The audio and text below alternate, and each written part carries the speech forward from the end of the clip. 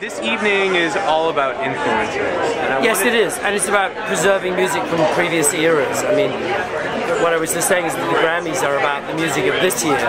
You know, we also support music education, which is about the music 20 years from now, of course.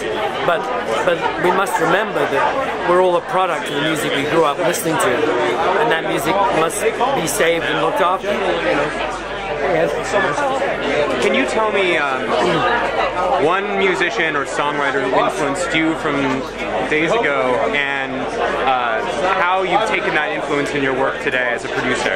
I'd say Buddy Holly because um, you know he was early rock and roll. I heard him when he was first making records in the 50s, and it influenced me a lot. And and then of course his songs meant a lot to me. You know, back in the days when I was singing, Peter and Gordon had a huge hit with Buddy Holly songs. I produced Buddy Holly songs with Linda Ronstadt had hits, and I did a Buddy Holly tribute album a couple of years ago. So he won't go away, you know. And that's the important part of what we're doing tonight, is to making sure nobody else goes away either.